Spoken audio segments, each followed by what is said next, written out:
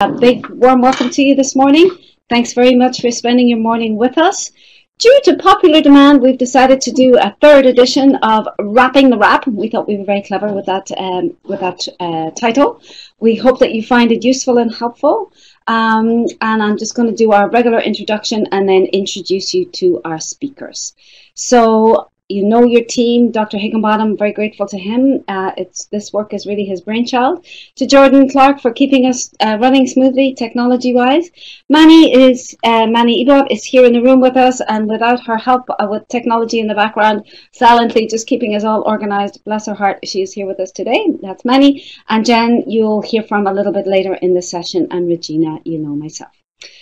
So you know that um, we are we were initially funded by the Ministry of Health, and uh, we are so very grateful to all of our participants and our speakers.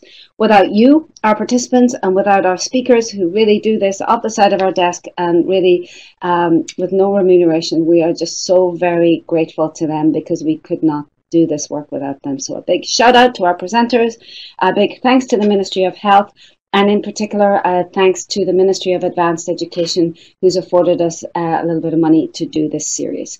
And Jenn, I see is in the room. A warm welcome to you, Jenn. Thank you very much. Maybe have yourself a cup of tea, glass of water, and and um, um, just um, settle yourself down there. So, anyways, that's really great that you're here with us. Um, of Douglas College, as Douglas College staff, we wish to acknowledge the Coquitlam and Qayqayt First Nations, as well as all Coast Salish peoples on whose traditional and unceded territory we live, learn, play, and work. And I love that we have the idea of play in there, um, but just to give an acknowledgement uh, to our First Peoples. Please do let us know how we're doing. Uh, from the last session, we just had two pieces of feedback, and honestly, we really need your feedback to be able to uh, make improvements, to craft our ideas, to be able to speak to our funders about what we're doing well and what we need to grow. So we really do value and honestly need your feedback. So um, please do let us know how we're doing. Um, so feedback is honestly all looked at and very much appreciated. Hopefully it's easy to do. We try to make that as smooth as possible.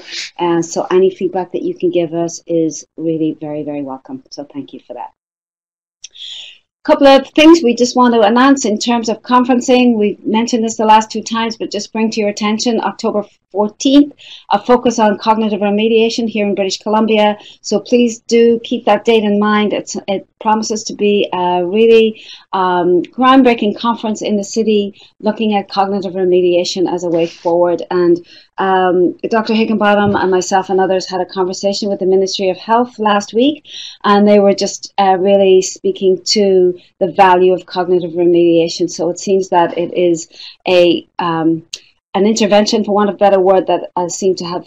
It's, it's the time is right. So if you're interested in learning a little bit more, uh, please do come to the conference. Please save the date.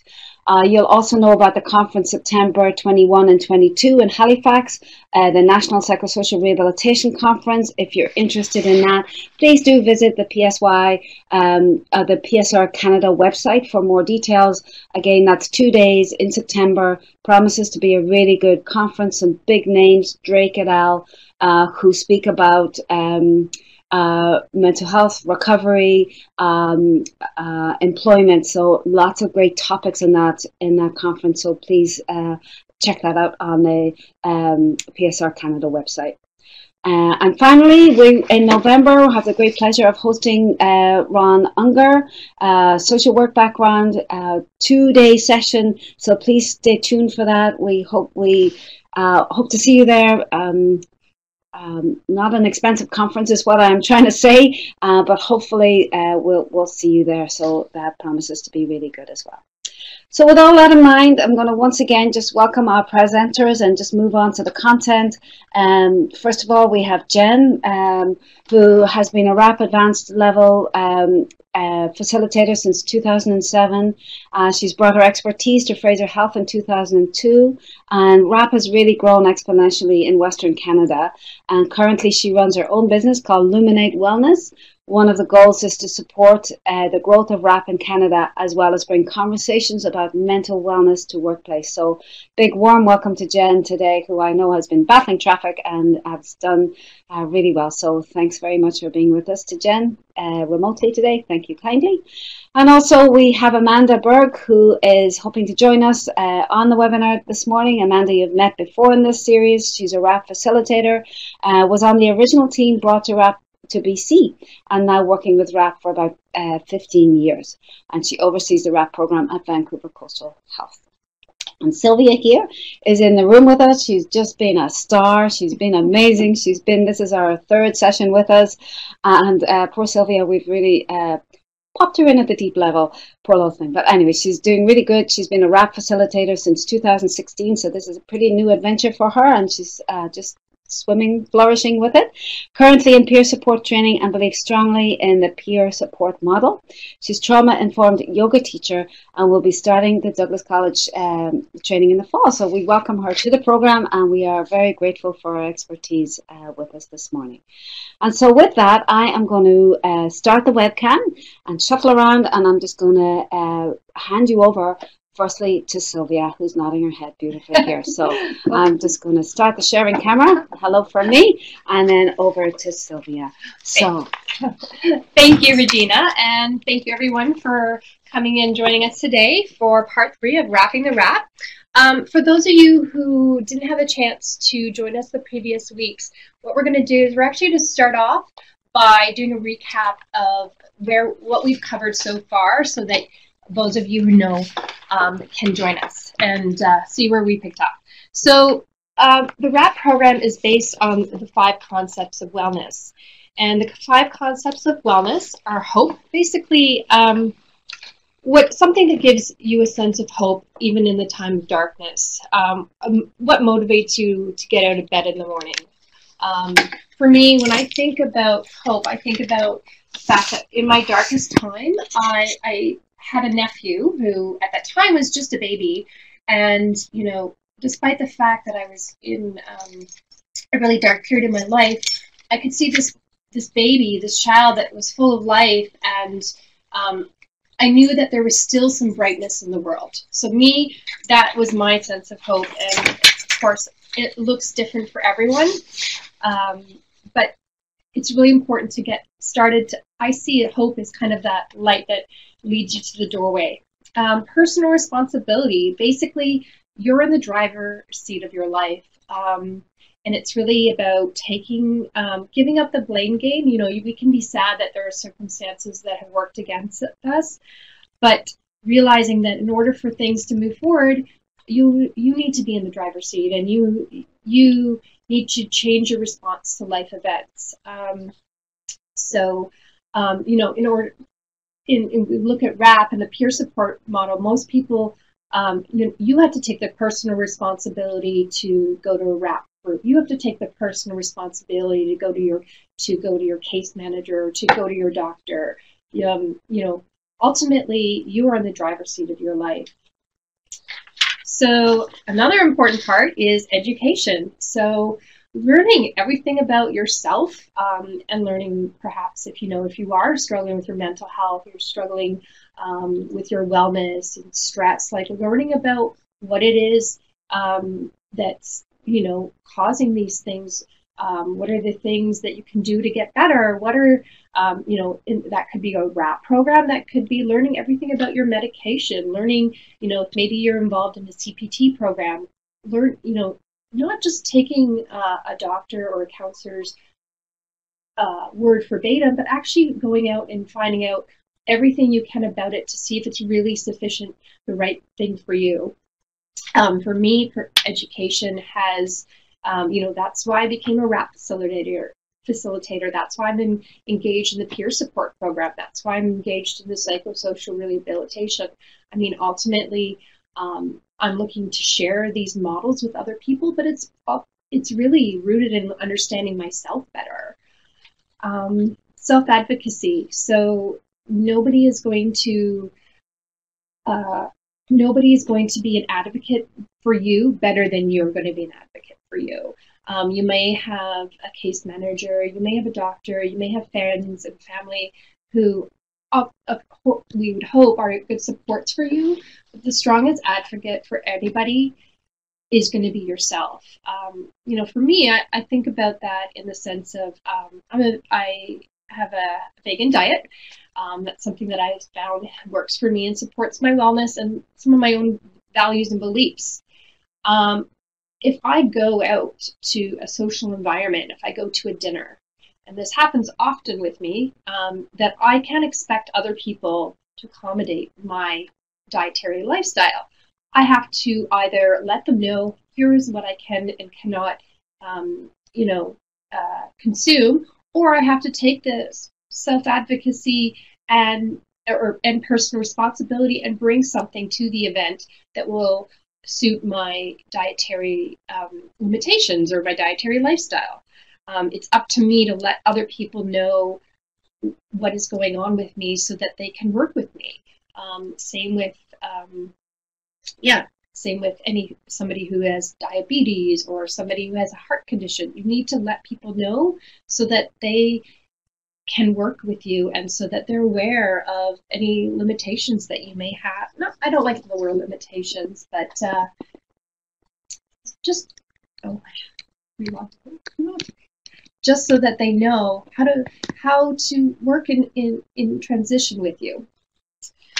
Um, yeah, and it's also about really rooted in knowing our rights and making sure they're respected. So in the first session, we talked about the personal bill of rights. Um, we don't have time to go through them all today, but I do uh, invite you to go back to our PowerPoint from session one or webinar um, and review that again. And remember that um, we all have a personal right, bill of right to say no, to to you know to change our mind, to to ask for something else, and being a self advocate is is basically engaging our personal rights and knowing that we're allowed, giving ourselves permission. It's really important to give ourselves permission when we go out in the world um, in terms of how we interact with it. Um, and lastly, support. So support is um, a really big one um, for all of us. Um, you know, it's about having community. It's about having connection. It's about uh, finding people who are able to support you in your journey. We live in a time that's kind of this really disconnected time. People are, you know, if you go on the SkyTrain, if you go um, anywhere, you're most people are connected with their mobile devices more than they are engaging with other people. So it's taking that time to step beyond that. Um, you know, talking to the cashier at the grocery store, talking to the librarian at, at, at your library, talking to people on the bus. Um, and also, you know, developing, ideally, you want to have four or five really strong supports that can help you in the times that you are maybe not feeling your best so that you have somebody, um, whether it's a family member, whether it's a friend, whether it's a neighbor, somebody you can call about to help you, um, you know, perhaps if you are going through a difficult time, somebody who can step up and maybe help you with your, you know, meal support or childcare or um, you know, for a lot of us, if we have a spouse or a partner, that's somebody who's going to be a stronger emotional support, or perhaps give you that time to take a space where you can, um, you know, for me, um, I have a really great support in my partner. And, you know, when I said that I needed this before, I used to work full time, and I said that that wasn't working, that wasn't supporting myself. And he said, okay, so you work part time, and I'll just, I'll support us both. And you know, not everyone has that, but you can find supports in other ways. Um, so how do we how do we continue to build community in our lives? Um, you know, for me, one of the things that I've really embraced about peer support is I'm able to make community connections with other people who have lived experiences similar to me and to know that I'm not alone.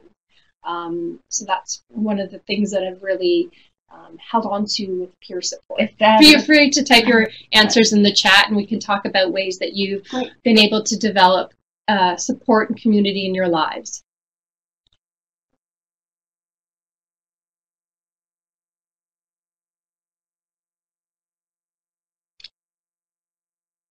I guess for some of us, it's just it's often having having friendships around, having people that you can chat with.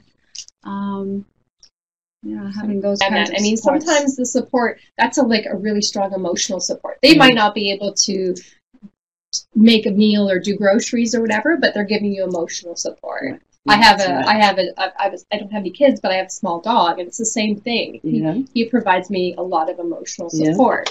Yeah. support. And so some people say I join organizations uh, like my church, 12 step uh, programs, groups, book clubs. Um, other person says they have an amazing uh, support person in their lives, um, partner, uh, uh, much like you. Yeah. um, yeah. Friends and family, yes. Right. A couple of mothers uh, whose young adults have challenges as well. That's super helpful. Yeah, I think it, I think that's kind of like the idea of peer support. Like any group where you can talk to people who are going through similar um, similar situations. It's really nice to know that you're not alone, and I think that's a really good source of support and community for sure. All right. Um, I've got Carmen and Cece still writing, um, so we'll see what what they want to add to the conversation, and then yeah, leisure activities, go painting nights. That's great. I've always wanted to do that, and I haven't done that. Meet people. Yep.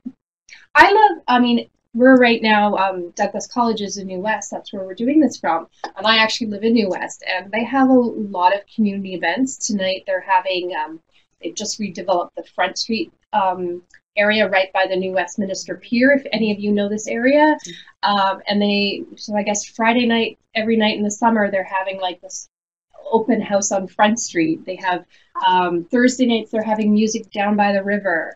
They have a lot of events, and uh, Friday nights they have movies in Queens Park. And I really love, you know, living in a in a smaller, very community oriented Right. city. And I really, you know, if, I think that's one of the great things. I've lived in a big city. Um, I've lived in Toronto for many years, 14, 15 years.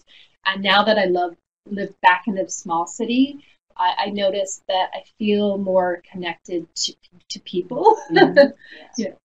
I think there's another comment down there that really resonates with me as well. The warm summer weather helps a lot. I spend Yeah. time outdoors and refreshing. I so Yeah, I so yeah. agree with that. yes, uh, vitamin D is very uh, supportive, definitely. Um, I know this past winter, I'm sure many of you would agree uh, with the amount of sun, or sorry, amount of lack of sun and the amount of rain and, and snow that we had. I definitely saw a big shift in, in, in where I was feeling and how I was, um, where m- my mood was. And as soon as as soon as the sun came back out, I was like, oh yeah, that's why I haven't been feeling like myself. you know, um, it's just it makes such a difference. I know a lot of people um, who who struggle with their mood or mental health. They get those light light lamps. Is that what they're called? Light Yeah. lamps. Um, I've never actually got one myself, but uh, okay. Um, so I think in the in the efficiency of time, we're we're, I'm sure there's lots of more other ways that we can talk about support and other things that as they relate to the key concepts. But just in the uh, interest of time, we're just going to move on to recap the rest of the uh, wrap that we covered in the previous weeks. So we are going to talk about wellness tools, and some of you have already talked about it um, in terms of you know all of those things, like whether it's going outside or nature bathing or hanging out with family friends. Those are all wellness tools. Basically, wellness tools are anything that makes you feel good, makes you things that you look forward to, things that you know. If you didn't have to, um, you know, go to some of you may enjoy your job, but you didn't have to go to work or you didn't, you know, didn't have to do chores around the house. The things that you look forward to and the things that make at the end of it, you're like, oh, I feel good. Um, and some of those things might even be work. Like I always, um, I like washing the dishes. I actually find it really meditative. Nice. yeah. and I feel like, uh, you know, at the end of it, I feel like, oh, I've accomplished something. The things that you look forward to, things that, so um, maybe if you guys could suggest a couple wellness tools. I know for me, I mentioned my dog. Um, I, I've I know that Regina mentioned in my introduction that I'm a yoga teacher, so I, obviously I have a connection with yoga. Um, I love hanging out um, just in, in, there's so many free events in the city, and I really like going to free events because there there's so many variety of things you can do, whether it's music, whether it's movies, whether it's a community art gallery show, and you get to be around people. And I find for me, just sometimes even if I don't know everyone, just having people around me helps me remove that so- social isolation that we feel sometimes. Um, I love that idea about nature bathing. yes. Yeah, that's a new term for me. I think that's really Yeah. very fun. Pink lipstick. I love that. Great. Thank you for sharing that, Lauren. okay. Um, so I'm sure I could spend the re- whole webinar just talking about what wellness tools because that's my favorite thing. But again, we're going to um, go forward for this daily maintenance time, and we plan. can. So, so this is when we're getting into the nitty gritty of the wrap uh, wellness recovery action plan. So the daily maintenance plan has three components. The first is what I'm like when I'm well. So basically, um, in order to have a guiding point of what you what you um, um, what you are like when you are well, it's really quite quite self-explanatory. But anyway, when you're not well, it's nice for particularly for uh, your supports and any uh, practitioners you might be working with in your in your journey to know what your kind of your your your starting point is or your baseline is. So, um, and this is something that you should do when you're when you're talk when we talk about doing the wrap. I should uh, mention um, that we do this when we're well. You don't want to put together a, a wrap when you're not feeling well because um, the idea is that you're always trying to get back to the state of uh, your best well self. So, part what? What am I like when I'm well? And I should mention um, some of the things that everyone's well is different, and things that might be like for me, I'm quiet when I'm not well, but for my partner, he's quiet all the time. He's like that when I'm well. So it's good to write that down because some people might see him as quiet and say, "Oh, he's not well." No, he's an introverted person, so he's he's always going to be he's going to his his um trait that is him not well is me is or him well is me not well if that makes any sense um, so daily action plan um, are things you want to do every day. Um, and i i keep these very simple and i've only got five on my list.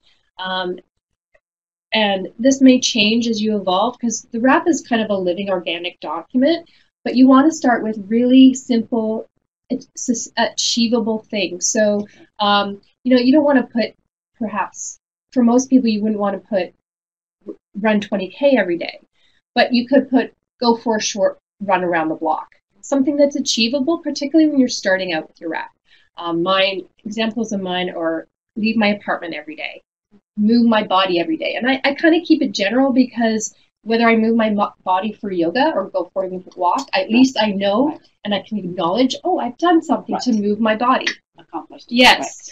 Um, so you want to keep that simple. Just have a couple, and you you might change that as you move forward.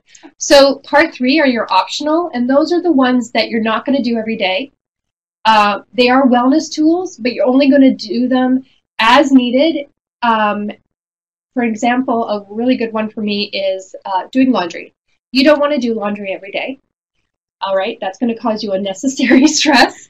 But um, if you don't do laundry at all, that could also um, contribute to you being unwell, right? So it's something you need to do regularly um, to keep your wellness, to have clean clothes and probably a clean house, but you only do it as needed. Same with paying bills, okay? So now we're moving into triggers. So um, identifying triggers. Um, so starting to know what are the things that contribute to um, you not being well. For example, um, for me, one is um, really loud talking and yelling, Mm-hmm. or even loud noises can be something that's really triggering for me. Um, so and, and, there's a list of them. And you know when you start out your wrap you will it might take you a while to list them all. And again it's an organic document.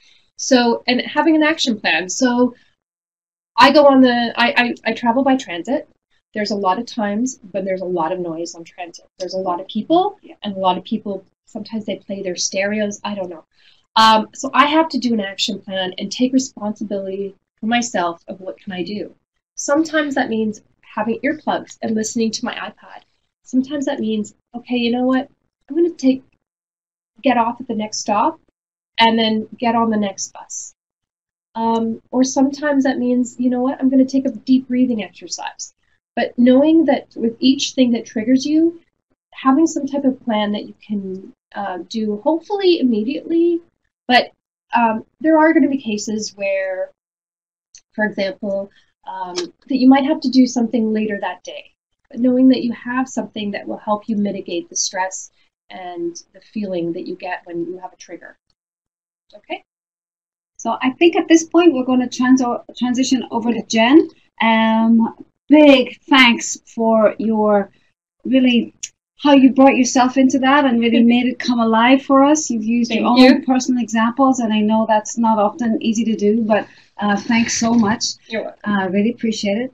With that, we're just going to hand it over to Jenn. Thank you. Um, thank you, Sylvia. And um, I'm going to finish up the, the rest of the, the overview. So um, we talked about daily maintenance. So daily maintenance is, um, you know, planning your day basically. And then triggers, trig triggers are external events that can cause us to go off balance. And we want to identify what they are and create an action plan to deal with it.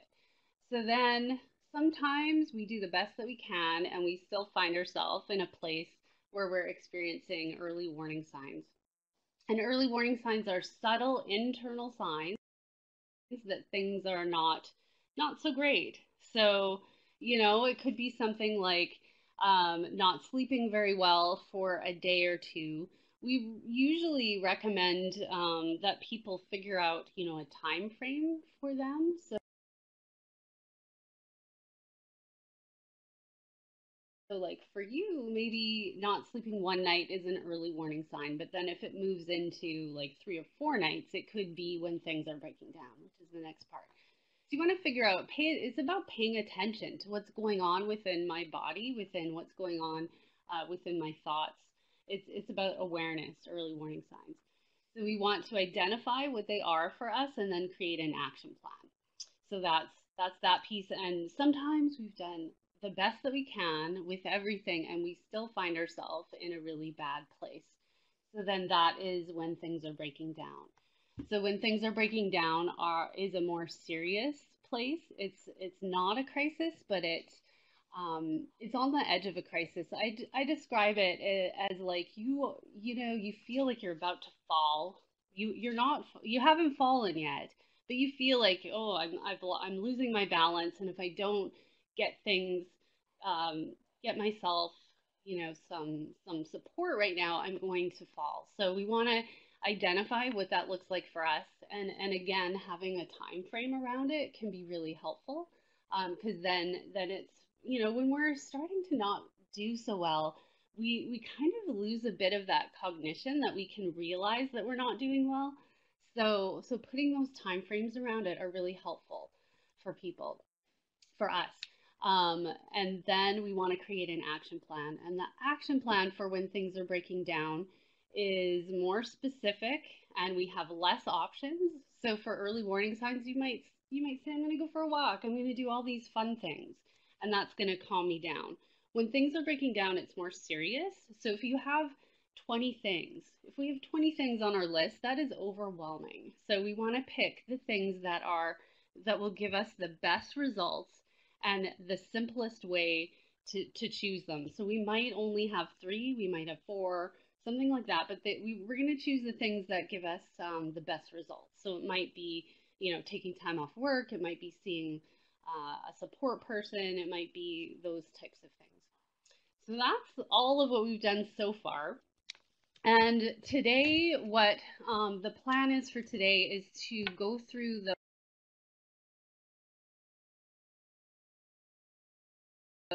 nine parts of the crisis plan. And the crisis plan is it's it's long and um, it's nice to have a little bit more time because we tend to rush it because um, because the rest of WRAP it takes so long. But the crisis plan is also really important. So we want to have enough time to uh, talk about online parts. And then the last part is post crisis plan. And that is what do you do after a crisis? And how do we get back on our feet?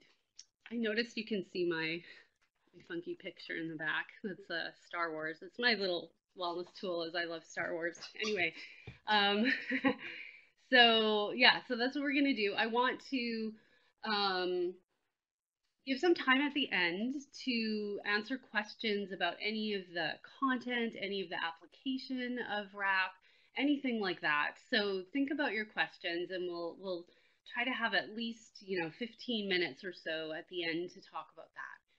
For this part, again, like we talked about the other two times, it would be so great for you to think about this for yourself. So how how does this apply to you and your own life? Because, like we talked about in the other two sessions, that really this is about um, a living document. It's about us using a WRAP if we're going to share it with the people we support. So, so the first step is always creating our own WRAP. And um, yeah, so for this part, I'd like you to think about how this can apply to you. Um, crisis plan, obviously a little bit of the history. So, so WRAP came out of the consumer survivor movement and it was created by a group of, of peers. Um, and then actually it's, maybe I think I will tell you the story because it's such a great story. So Mary Ellen Copeland, most of us know who she is. Um, she uh, was not doing well. She was struggling and um, was living in a group home and she was really struggling to, to get better and she had some trouble with her medication. She wasn't able to take a certain medication because she had a toxic reaction. So she went to her psychiatrist and said, how what can I do? What can I do besides medication to keep myself well? And this was um, in the 80s, so 70s, 80s. So it was before a lot of the recovery work um, that we know now in PSR and in the recovery movement. So there wasn't a whole lot out there, to be honest. So the doctor couldn't really help her. So she said, "You know what? I'm I'm going to do this myself, and someday I'm going to write a book." And she's uh, always glad to to share that. You know, she said to her psychiatrist that she would write a book, and he thought she was being grandiose. And she's very pleased to to say that that her doctor has never written a book, and she's written like 20, I think, a lot of books. so what she did is she um, worked with a vo vocational counselor and created a survey. And this was before SurveyMonkey, it was before email, it was before anything. So she created a survey on a piece of paper and mailed it out to people who were struggling with their mental health issues. Um, and she wanted to basically research what did people do to stay well besides medication? Like medication is an option, but what else besides medication? So she got 125 back, and basically, like she was still not in a great spot. So she put them all in a Rubbermaid container and shoved it under her desk. And over time, she, um, you know, would take them out and read them and look at them. And what she realized is there was themes throughout people's surveys. Like people had written like pages, pages, pages. So she dissected it down to themes. And those themes are what we now know as the key concepts. So hope, personal responsibility, self uh, self advocacy. Oh, education. I forgot. Sorry, edu- Pierce. Whew, I need to breathe. I've had a really stressful morning, but anyway, I'll tell you about that a little bit. But um, anyway, so hope, personal responsibility, education, self advocacy, and support. So those are the key concepts that, and that came out of that research.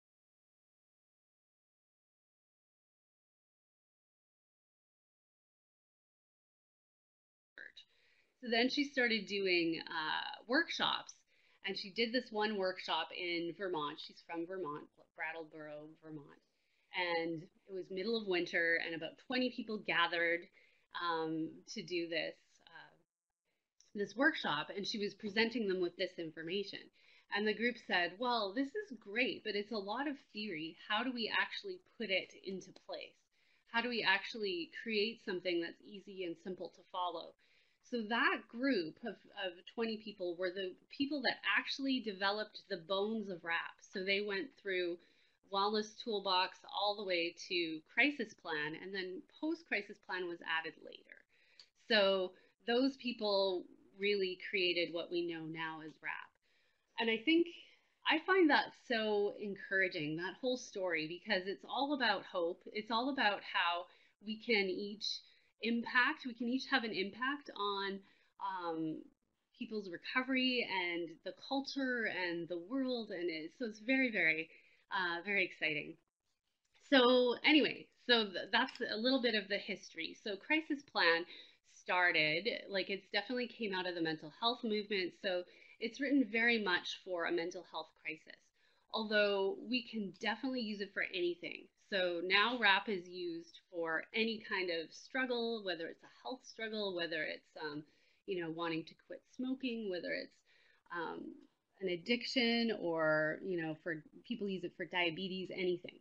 So when you go through the crisis plan, think about it for you. What does a crisis look like for you? You may not end up in the hospital for a mental health issue, but you may end up for in a hospital for a physical health issue or something like that. So so think about it that way. Um, and then post-crisis plan we will cover as well. So um, the next section of WRAP is crisis plan. In spite of your best planning and assertive action, you may find yourself in a crisis situation where others need to take over responsibility for your care. You may feel as though you're totally out of control. So we'll pretend that you have a book in front of you. So um, in in your book, you can, or at the top of your page, you can write crisis plan, and it has nine parts. And one thing I just wanted to clarify from what um, Sylvia said is is crisis plan. We encourage people to not do the crisis plan when they're not well. So it's not a good time to develop your crisis plan when you are unwell. But you can work on your WRAP at any point. So lots of people um, do the WRAP in in uh, acute hospital settings. Um, that people have done it in lots of different places. So you don't have to be well when you do the rest of your WRAP, but you do need to be well when you create your crisis plan because if you're in the middle of a crisis, it doesn't make sense to create a plan at that point. So the first part of crisis planning is what am I like when I'm feeling well? And this this is different than uh, part one of daily maintenance. You'll remember that this question, or this is in part one of daily maintenance.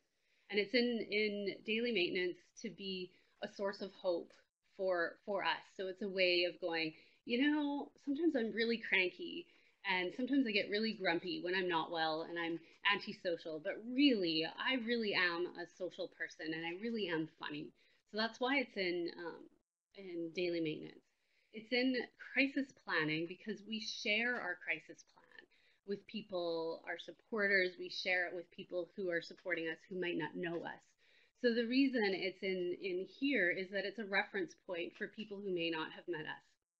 Um, some people put photographs. Some people I'm like when I'm feeling well is you can have photos, you can have like little, uh, you can write some things, um, paragraphs to describe yourself when you're well. Um, I'm quickly, we're running out of time, but I wanted to uh, mention that for me, when I uh, was having my um, second baby, my first uh, birth was very difficult, and it was a, it was it was really hard, and uh, the birth itself was hard. Healing after was really hard, almost to the point that I didn't want to have any more kids. Um, and six years later, we decided to have another one, and it was a little bit scary for me because I had also experienced some postpartum uh, depression and things like that. So it was it was hard. I, I was like, oh no, I don't know if I want to do this. So an example of using a crisis plan is I actually used the format of a crisis plan and created a birth plan with it. So for this part, when I did what I'm like when I'm well, I actually took that section to just write a big long list of my history and what didn't work last time and how what I did want um, for the next time. And I'll tell you more about that, but it changed everything for me having that plan in place. Like it changed, it changed everything. Okay, so part two is signs that supporters need to take over. So list all those signs that indicate to others that they need to take responsibility for your care and make decisions on your behalf. So this need this we also call this part indicators. So it needs to be really clear to people when they need to step up. So we can't have things like when I have uh, rapid thoughts because people can't um, can't hear, hear that. So it needs to be something that others can see that go, okay, something's not right. I need to support. I need to step in and provide some support. So it could be things like, you know, not leaving the house for a certain number of days or um, not showing up for work or, um, you know, all, all that kind of thing. Um, and then that tells people to step in. So then part three is supporters. So list at least five people you want to take over for you. You can include family members, friends, or care providers. Ask the people you choose if it's okay for you to include them on the list and tell them what you want to do to be involved. Show them a copy of your plan. So the reason we suggest five people is that um, you know, somebody might be away or someone else might not be able to uh, be there for us. Whereas if we have five people, then our chances are higher that someone will be able to support us um, at the time that we need it. Also, if we just have one or two people, um, we can really max max out someone's support. So it's really good to even that out. Um, and then again, we want people to sign off that it's it's okay that they're they're on board. I'm going to proceed from here. Um, so just give us one second to to fire up here No, from here. Um, Yeah, okay. so we're just going to get into place. There you go. Hey everyone. Okay, so continuing on from Jennifer, she was, I believe she was talking about um, part five of crisis planning, which is treatments. So basically, you just want to list all the treatments you would like and treatments you want to avoid. So whether um, um, and and this includes alternative. Um, so any medications that um, you've had a, um, a bad reaction to, you want want to make sure you list those and um, any treatments that you want to avoid, you want to list those. But at the same time, any things that really have worked for you, you want to make sure that you list those as well. So it's um, that's that's part five, which is the treatments. Just making sure you have a clear list of what things you're open, you would like, and what things you don't like. So I think we can move on to part six. Um, uh, so, um, kind of continuing on from um, treatments, we're looking going to look at kind of treatment centers, whether it's home, that can be your treatment center. It could be a community care center, or could be, be a respite center. Um, for some people, um, this might involve hospitalization, but hospitalization is not the best option for everyone. Some people um, actually don't move forward in their recovery when they are hospitalized, so they would rather stay um, in another facility or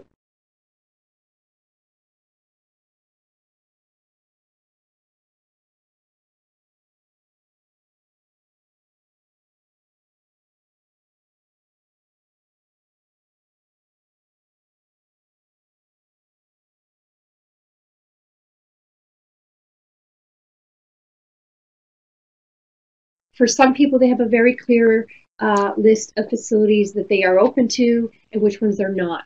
For me, um, I'll tell you, my sister is a doctor at a local facility hospital, so I don't want to. That would be on my list of places I don't want to go because for me, there's just too little bit too much entanglement in there. Um, or you know, if there's a place that you have found that they have really, you know, really um, great. I don't want to say service, but really care um, and other places that you might didn't have a good experience, you would want to list those. Um, if for you want to make sure you also know all the resources that are in your community, particularly if you're new to a community, um, and find out which places um, might might be best suited to you or ones that you want to avoid. So just having a very clear plan about that. So next we're going to go on to treat. Oh, I, I already covered that. okay, so part six, uh, sorry.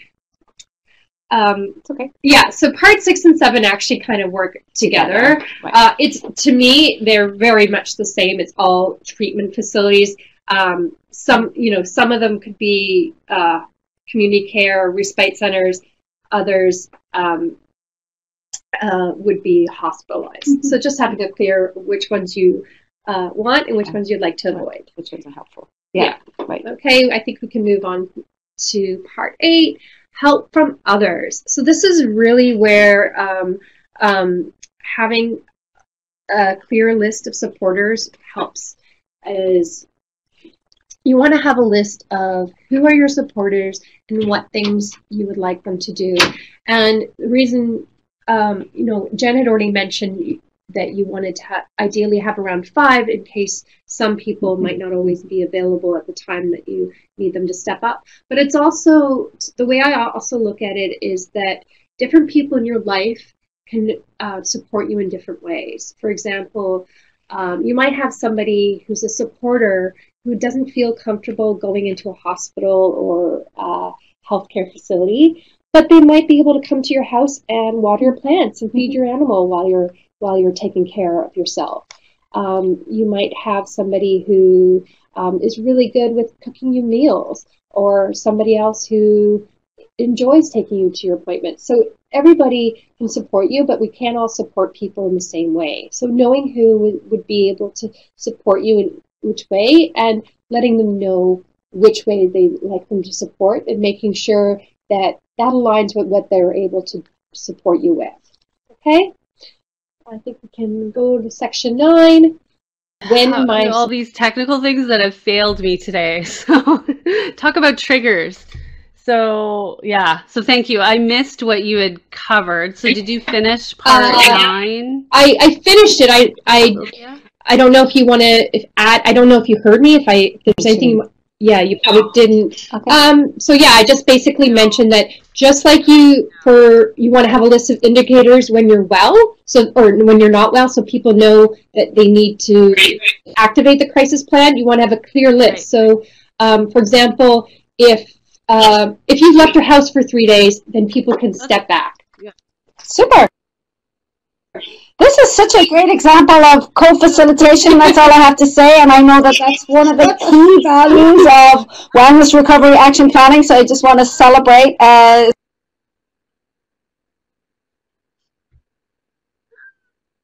You know, and this is a great opportunity to mention that why we do that is like sometimes uh, we always the the model, the facilitation model of the Copeland Center is to always have two facilitators, and that's because like exactly this. Like I like today, my battery was dead, and it was like a complicated thing to get it started before I left, and then there was a massive accident on the freeway, so I had to like actually turn around and come back home because I was going to be at Douglas.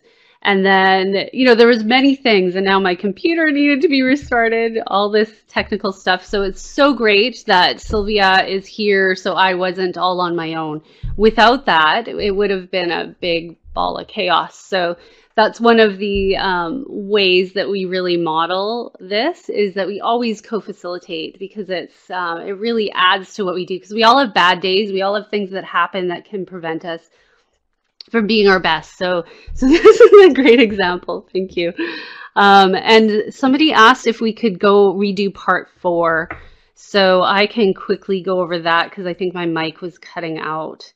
So part four is I don't I don't know how much you heard. Basically, it's a list of all the medications that you use, um, insurance companies, ID, all that kind of thing. If you also use um, uh, vitamins and things like that, that would be in the medication section as well.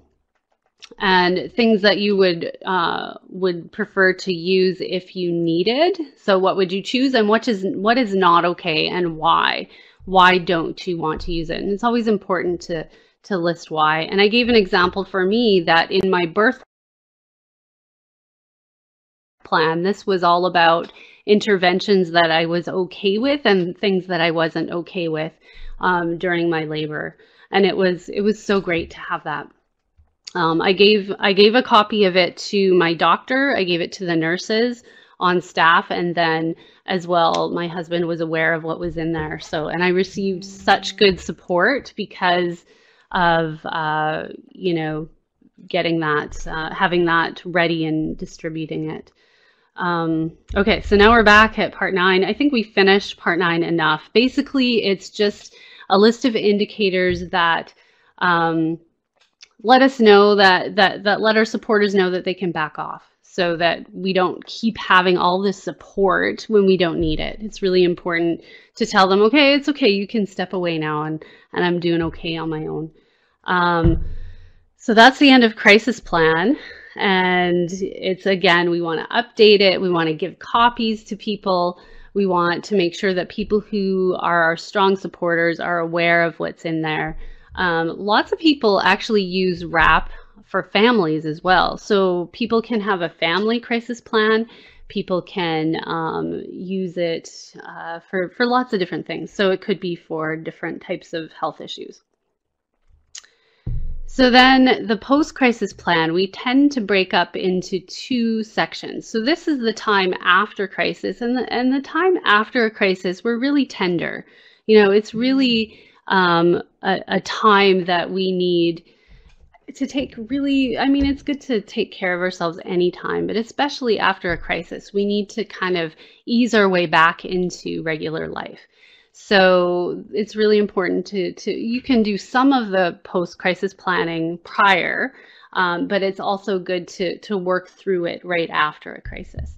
Um, for example, for me, the post-crisis part was about, with my birth story, was like, I was very clear I didn't want any visitors after um, in the hospital for the whole time I was in the hospital because it was such a hard time last the time before that I said I don't want any visitors. So that was part of my my plan. And then I I had my mom help me with cooking and things like that. So that was part of my post crisis planning. Um, but definitely people have different things and they want different things um, as they lead back into regular life. Um, so we divided into two parts and it's not listed here, unfortunately, because post crisis planning is big. There's a lot in there. But we break it into like issues that need addressing and then a timetable for resuming responsibilities. So around the issues, um, we look at people you need to thank, um, changes you want to make in your life as a result of what you've learned. One thing I haven't mentioned already is that the beauty of having a crisis plan is that people, it's like an advance directive. And we know that people get back on their feet quicker when they have a crisis plan. So it helps people to really get back um, a lot quicker than without having one. So it's definitely um, makes a big difference. So what we encourage people to go back, like, is there things you want to adjust in the rest of your WRAP? Are there things that you've learned? Because it doesn't have to mean the end of the world. We we shift our mindset around crisis and realize it it doesn't mean that life is over. It's just a period of time that will pass and life will get back to normal again. And um, what do we need to take care of ourselves during that time while we get back on our feet? So what, what can we learn from it? What do we need to do to prevent further, further repercussions from this crisis? Do we have people we need to apologize to? Did things come up that maybe we don't like that we need to address? Um, do, are there people we need to make amends with? Is there medical, legal, or financial issues that need to be resolved? There's a there's a lot, a, big piece of that, and most of that gets worked through af after. You can't really plan that ahead of time. Um, and then the next part is a timetable for resuming responsibilities, and this is something that we can plan ahead a little bit. So if we're going back, if we have a full-time job, how are we going to get back um, to regular life, regular full-time hours? Are we going to do a return to work program? Are we going to have some extra support if we have children or if we have other responsibilities? Um, can we have some people step in and support us for that?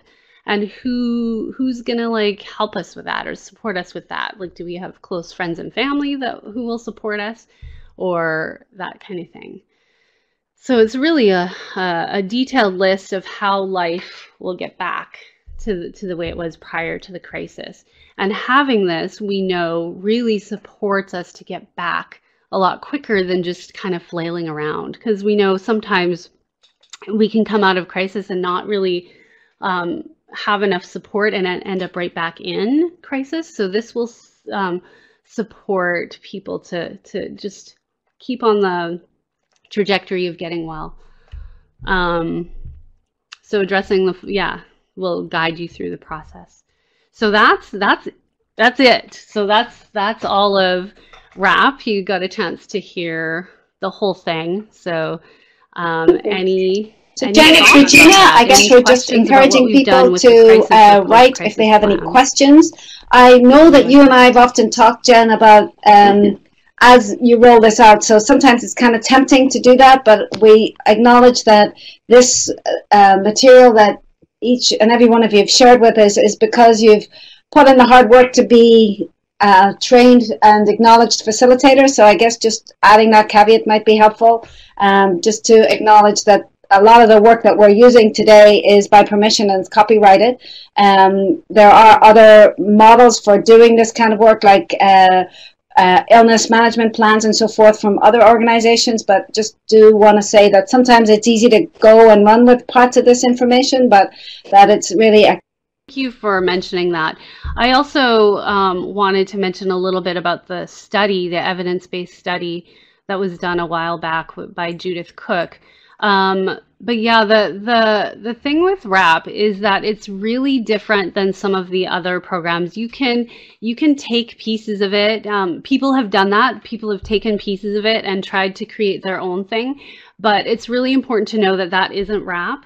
WRAP is meant to be done in a certain way. And um, if someone there could type in um, find the link to the way WRAP works. It's on the Copeland Center website, and it's a pretty big document. I think it's a 20 page document about the fidelity of WRAP and how how organizations need to follow the fidelity of WRAP to make sure it works properly. Um, I've heard of some pretty uh, not so great stories of people like taking bits of WRAP and and doing it without being trained, and it it can actually be really detrimental to people. So it's important to receive the training. It's important to go about it the right way so that you can be on board with what the um, underlying bits are that we didn't talk about today. So we talked about the, the pieces and the sections and all that, but the things we didn't get to talk about are the values and ethics and all the foundational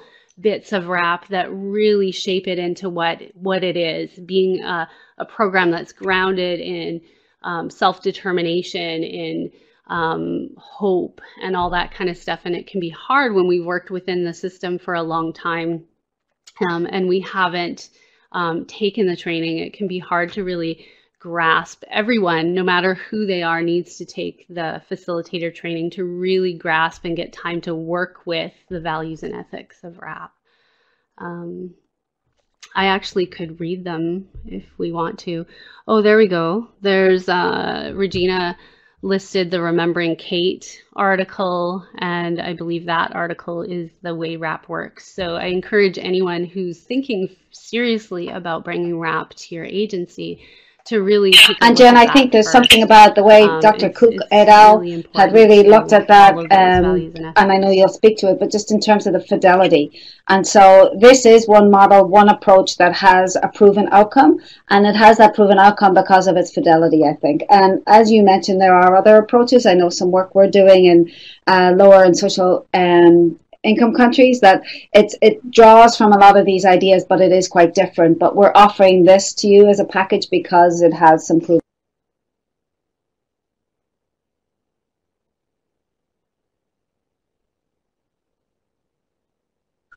Mm-hmm. I think 2009 it started, but then. So the study happened, I, I don't remember the exact year. It was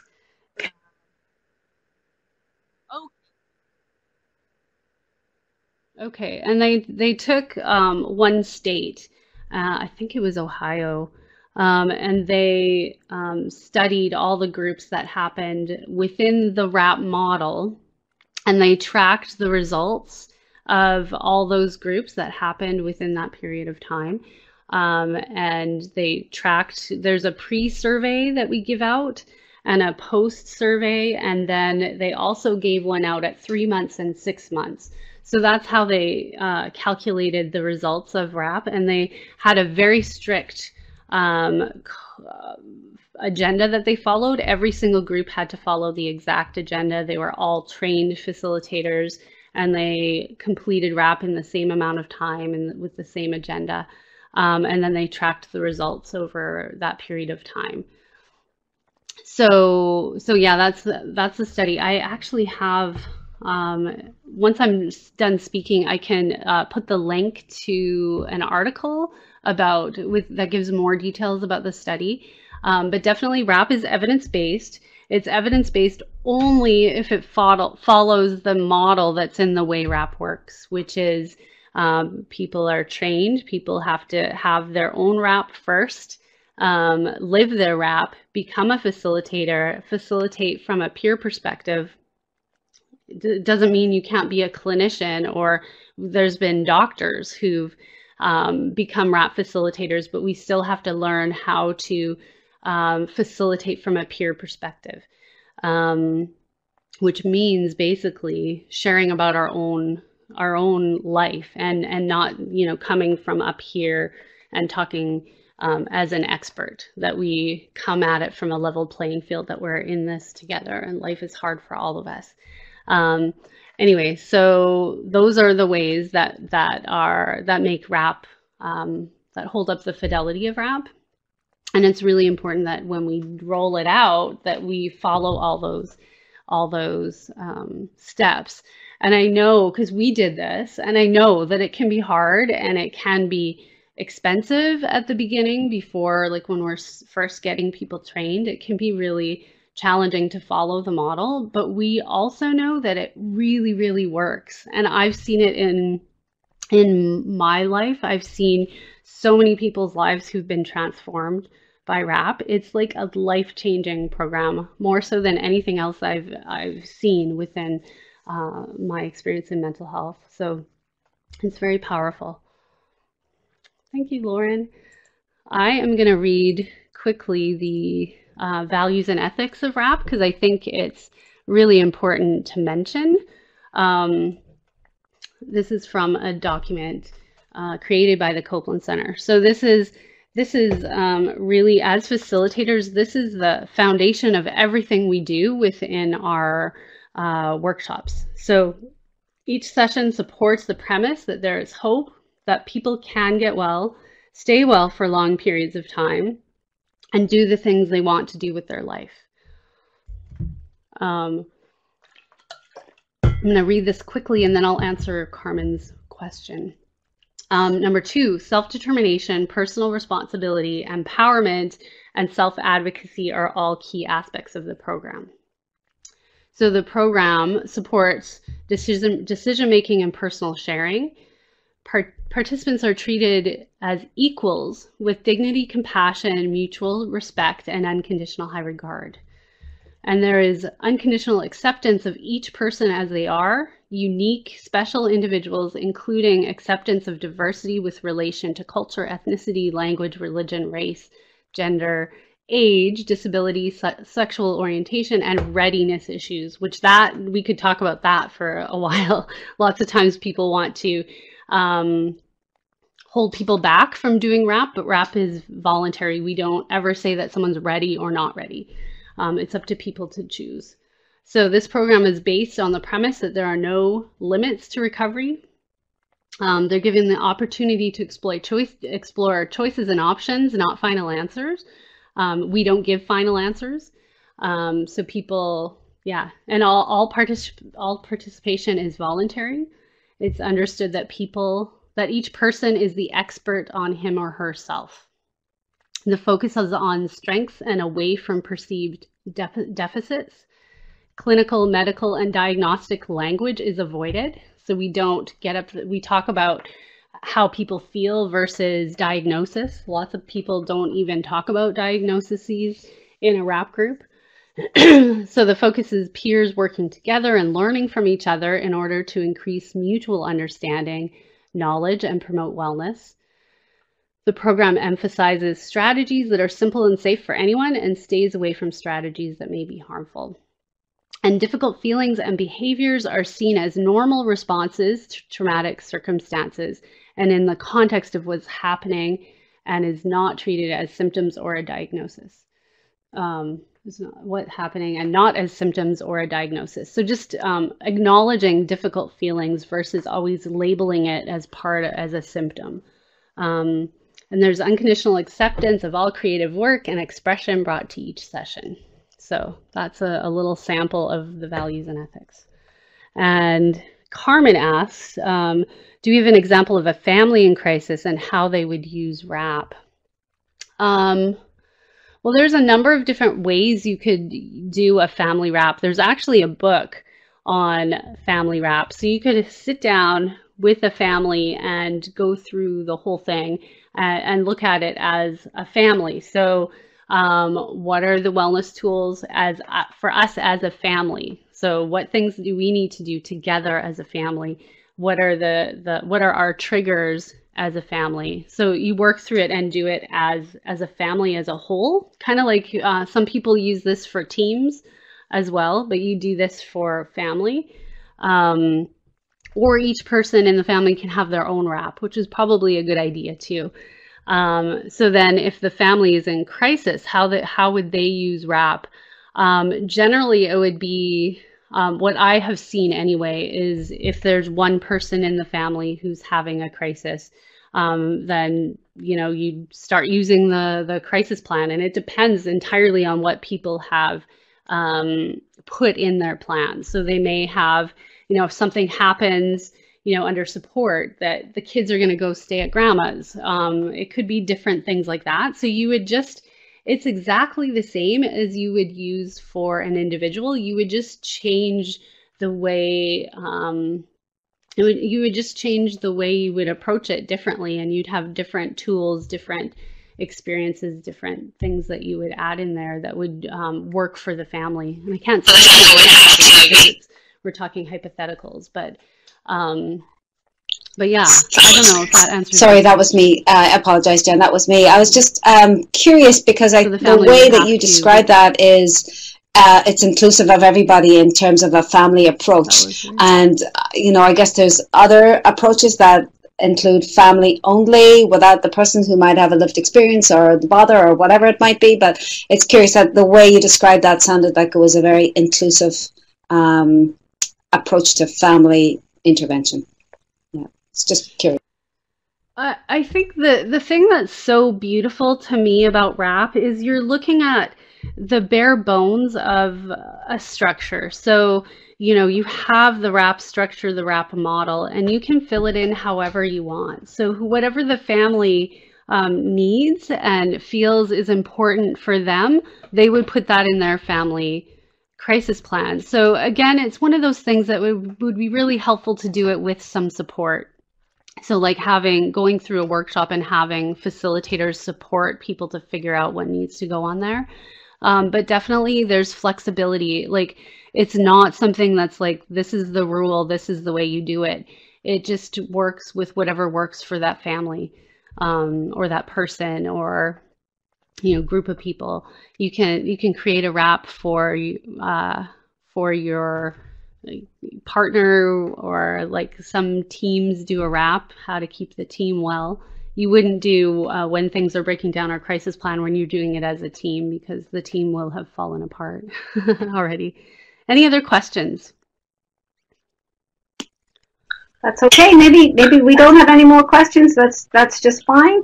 Um, you have our email. You have Jenn's. You have mine we, if you were one of those people who came through the new link that uh, Manny sent at the last moment, please do uh, let us know and uh, send us an email, and we can send you an evaluation tool Uh, we just we love to hear from you. We need to hear from you.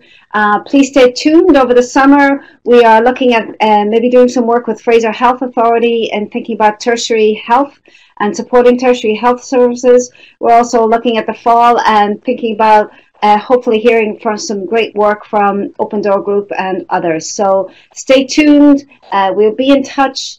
Um, sounds like we're closing down for the day. I just want to say a big thank you to people, uh, to you for being here with us today, and also to our presenters because uh, that was a very creative, last um, problem solving in the moment uh, approach today. So thanks so much, uh, Jenn. Really uh, commend you for your professionalism in the middle of a car crash and everything else that went on. So thanks very much. And to our speakers in the room, uh, uh, if I can turn the camera on again one last time, I will. Uh, I'm just gonna, maybe I can't. I'm just gonna start this. I'm not sure why we only have one camera but we do. Uh, but anyway, to, to just, um, I don't think we had a wee shot of Manny, but just to say thanks to Manny, uh, who's with us today. Thanks kindly, Manny. Sylvie, bless your little heart, because without you today, we wouldn't have been able to do such a wonderful, high quality presentation. So thanks, thanks Thank to everyone. everybody online. Thanks very much. Uh, Michael adds, thanks, a great uh, illustration of teamwork and collaboration. Big thank you to you. That's so kind. Uh, so anyway, from us, I think that's us. We're going to take a little break for a couple of weeks. Happy summer to everybody. Um, let us know. Keep the feedback coming.